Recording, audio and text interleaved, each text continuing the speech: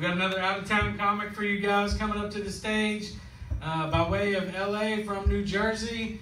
Put your hands together for Mr. Tadpole Triplett. Y'all give it up for Chris and the Caravan Comedy Club. Y'all are insensitive. no, I'm not Ted Kaczynski Jr. Fuck. Did you ever stick your finger in your belly button and give her a sniff? you ought to see where you're at. Well, how the fuck did I get to day three on day one and fucking smell like Give a sniff like that. I never understood term trophy wife. I mean, technically, aren't they all trophy wives? Just matters of which place they finish. right? I know everybody gets a trophy.